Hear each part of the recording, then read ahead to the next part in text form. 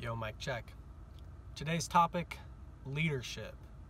Now, I think that a lot of times leadership is misrepresented in that the most forwarding leaders ever to have existed, in a lot of cases, weren't necessarily designated as a leader in the title which was bestowed upon them either by themselves or by the people.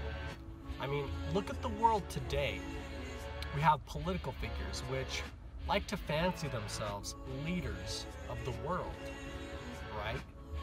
Presidents, monarchs, delegates, all of these titles that are given.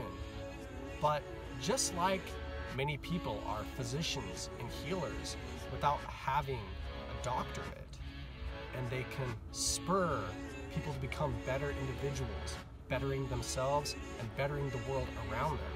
Many people who spark movement among the masses aren't necessarily designated with the title of leader.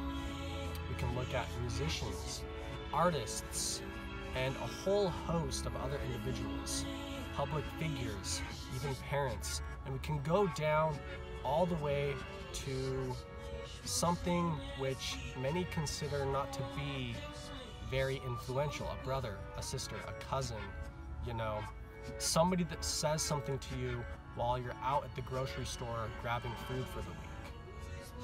How does an atomic bomb actually work? It sparks change on the most minute level. And from that point, an expanse of change, information, ideologies are spread throughout reality. Be the change, be the leader. Be somebody who stands for what it is that you believe in. Spark movement among the masses. After all, what does a leader do? A leader sparks movement. By what? Giving us a place to go. So know where you go yourself and have good reason to go there. And in so doing, lead those with you to this place in which you believe is a better place than where you're at at the moment. And in so doing, you will create a better place for not only yourself, but for everybody else as well. I mean, we can see this on social media right now, right? We look at some very prominent political figures and other peoples which have the designated title of leadership. However, we can not travel very far, you know, a couple clicks away, and we see somebody who isn't necessarily designated with the title, but they have more followers, and in this, they are a more influential leader. All right, that's it for the day.